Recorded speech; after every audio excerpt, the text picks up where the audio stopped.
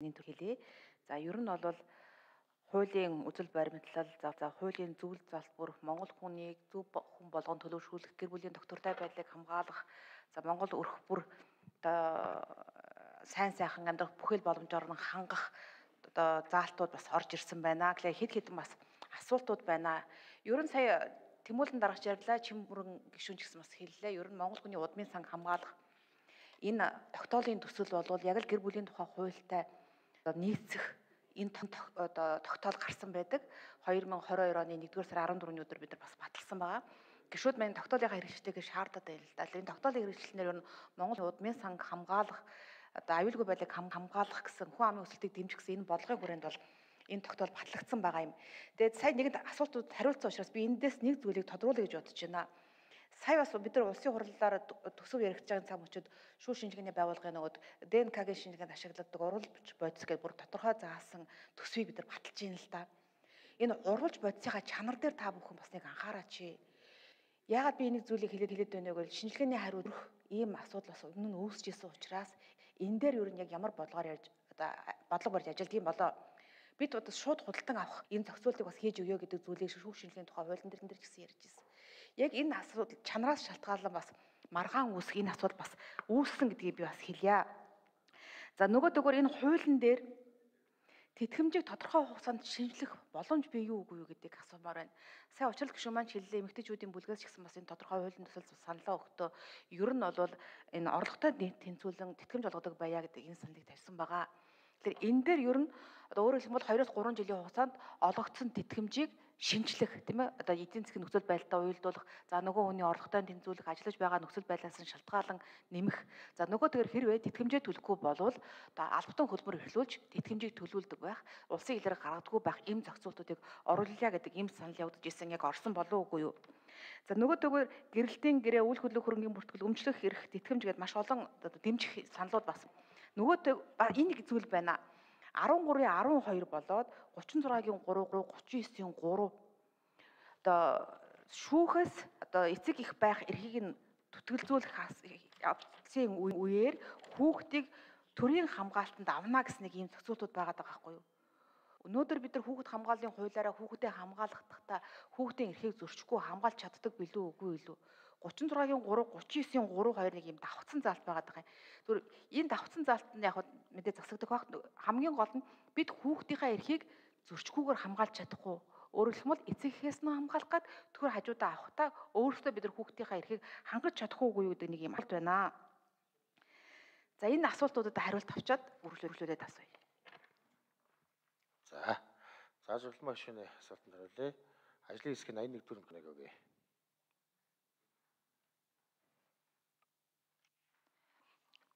Жаргалмаа гişүний асуултанд хариулъя. Тэгээд юуны өмнө бас шүүх шинжилгээний байгууллагын бас чадхыг сайжруулахтай холбогдуулаад бас төсөл хэрэгжиж байгаа. Тэгээд бид нар бас бүгд нэг Солонгос улсад бас шинжээчдийг сургах чадхыг бэхжүүлэх одоо ажлууд хийгдэж байна. Түрүүн бас дурдсан ДНК-гийн лабораторийг бас тоног төхөөрөмжийг нь бол энэ онд бүрэн шинжилсэн. Цаашдаа бас хууль дотоод хэргийн яамны зүгээс бас шүүх шинжилгээний байгууллагынхаа бас чадхыг бэлтгэхээр бол анхаарч ажилланаа. За уруулж бодисыг бол шууд худалдаа авалтаар бол авдаг гэсэн мэдээлэл бол байна.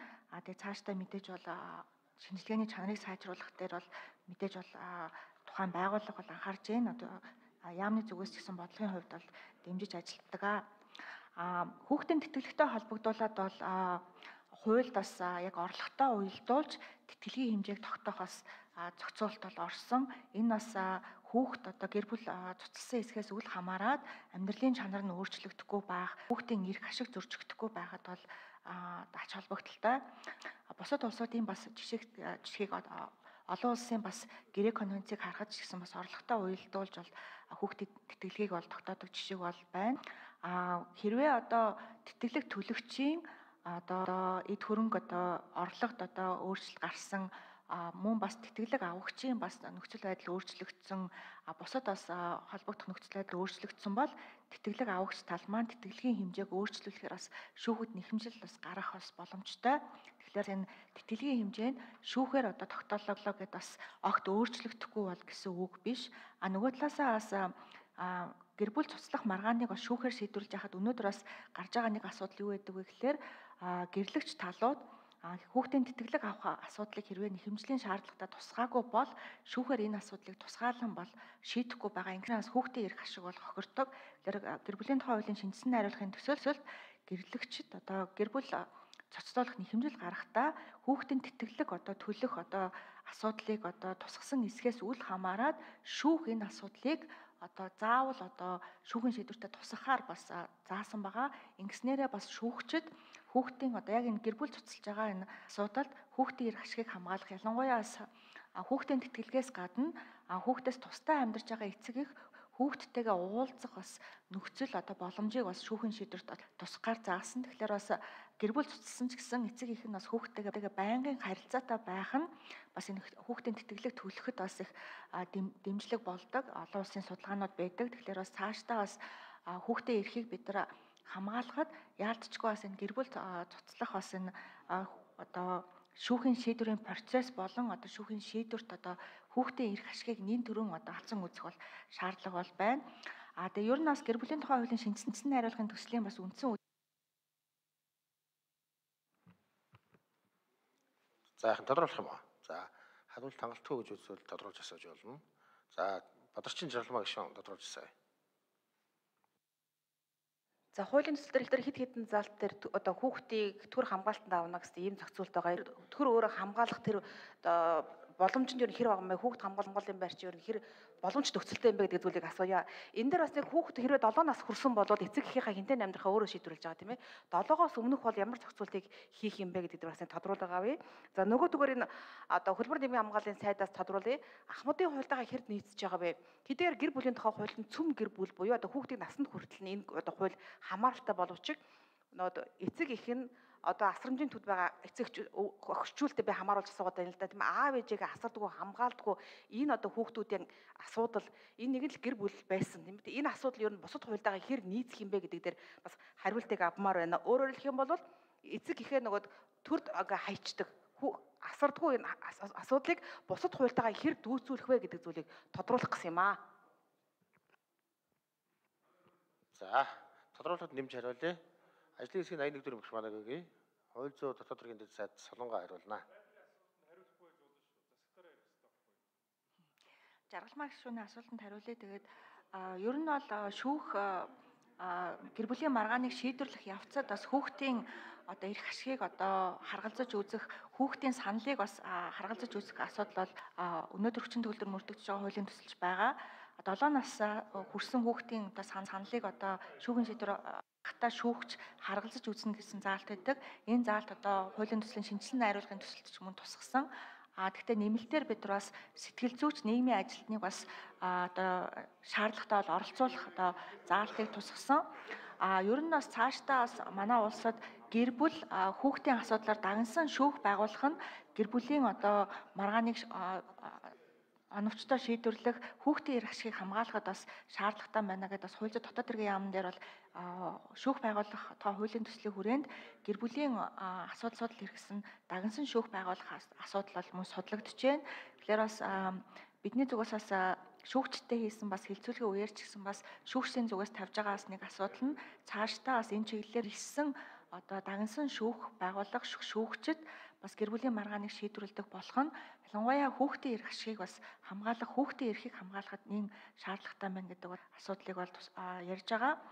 А нөгөө нөгөө талаасаа бас гэр бүлийн тухай хуульд бол асраа хамгаалтгүй болсон хүүхдийн асуудалтай холбогдуулаад бол хүүхд хамгааллын тухай хуулийн шинжилсэн найруулгын төсөл уялдуулж бол энэ холбогдох заалтуудыг бол хүүхд хүүхд хамгааллын тогтолцоог бол тусгасан. Тэгээ үүнтэй холбоотой нэмэлт нэмэлт одоо мэдээллийг хөтөлбөрийн эмийн хамгааллын яамнаас өгнө.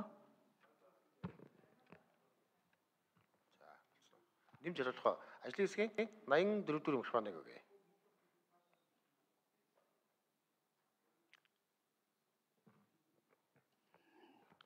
Жаргалмаа гишүүний асуултанд хариулъя. Хөтөлбөрийн нийгмийн амлын яамны гэрүүлийн бодлогын хэрэгжлийг цэцлэх газрын дарга баярмаа. За гэрүүлийн тухай хуулийн ажлын хэсэг хүүхд хамгааллын тухай хуулийн ажлын хэсэг 2 жилийн хугацаанд бид нар бас хуулийн нийслүүдийг ижилсэн байгаа. Хүүхдийн одоо үнэхээр гэрүүлээс нь тусгаарлах нөхцөлд гэрүүлээс нь тусгаарлах үндслийг хүүхд хамгааллын хуулийн зааж өгсөн. Тэгээд хүүхд тасрах хувилбарт үйлчлэгийг хэрэгжүүлэх одоо нүбийн хүүхд эрхийн конвенц болон нүбийн хүүхд эрхийн хороод нөхсөн өдөртөмжийн дагуу хүүхд тасрах хувилбарт үйлчлэгээ байна. Гэрүүлэлтэд үзэсгүй тортонд үзүүлэх үйлчлэгээ гэдэг. Үүндээ болохоор төрөл садны асрамж за асралт гэрүүлийн зохицуулалтын асуудлыг гэрүүлийн хуулиар ерөнхий зохицуулалт хүүхд хамгааллын хуулиар хүүхд хамгааллын үйлчлэгээний хэлбэр гэдэг энэ байдлаар оруулж ирсэн. Дараагийн шат бол төрөлцсөн асрамжийн үйлчлэгэнд бас хамруулах асуудал. Одоогийн байдлаар улсын хэмжээнд 28 байгууллагын одоо 31 асрам шалданжийн хүүхдийн төв үйл ажиллагаа явуулж байна. Үүнээс 3 нь одоо улсын төвийг бусд нь одоо олон улсын байгууллага хувийн дэмжлэгтэйгээр байгуулагдсан төвөд байна. Тэгээд яг энэ тохиолдолд үнэхээр эцэг эхийн үр үүргийг хязгаарласан хассан энэ тохиолдолд шүүхийн шийдвэр гарсан тохиолдолд бид нар үнэхээр хүүхд асран хамгаалах хүсэл гаргасан гэр бүлүүдэд бас бас энэ хүүхд хамгааллын энэ үйлчлэгийг гэрээ байгуулж сургаж одоо шилжүүлнэ. А зардал мөнгийг нь бас засгийн газар одоо тусгайлсан бас аргачлалын дагуу бас тогтоож тогтоож шилгээр бас тусгасан байгаа. За нөгөө талаар бас энэ насран хамгаалах одоо үйлчлэгээ үзүүлж байгаа энэ төвөд бас шилжүүлэх одоо зардал мөнгийг нийгмийн хадамжийн сан болон хүүхд хамгааллын одоо зардлаас шийдвэрлэх энэ асуудлыг хүүхд хамгааллын хуультай бас тусгайлан бас оруулж өгсөн байгаа. За. Нэмж хариулах юм болгон хэн хариулах юм? А болгон төвөө сайд нэмж хариулъя.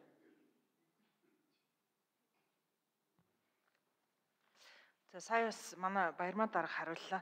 За гэр бүлийн тухай хуулийн дээр бол гэр бүл гэдэг нь гээд хамгийн ихний тодорхойлолтоор гэр бүл гэж гэрлэлт, төрөлт, үржилтийн үр дүнд эд хөрөнгийн болон эд хөрөнгийн бус эрх үүргээр холбогдсон одоо хамтын амьдрал бүхий гэр бүлийн гишүүдийг оруулсан байж байгаа. За гэр бүлийн тухай хуулийн дээр яг садангийн хүн, төрлийн хүн гэдгийг тодорхойлсон. Гэхдээ таны хэлж байгаа бас яг үнэн. Бид нар энүүнийг бас ахмад насны тухай хууль гэдээ бусад хуулиудад нэлээдгүй зааж өгөхгүй бол сүүлийн жилүүдэд манай ахмад насны эрх зөрчигдөж байгаа асуудууд маш их байгаа.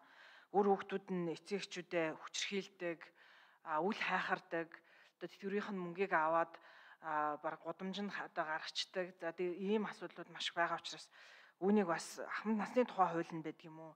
Нилээдгүй зааж өгөх нь бас зүйтэй юм байна гэж бодод таны саналыг хүлээж авлаа. За. За боловсрол шинжилгээ ухааны сайд Лусан цэргийн их хамгаалан асуултаа асууя. За би асуулт асуухгүй үг гэлэгч.